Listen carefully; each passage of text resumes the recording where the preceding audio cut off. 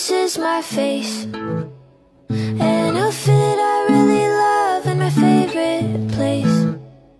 And something I care about and something I hate. And someone I date. And back to my face.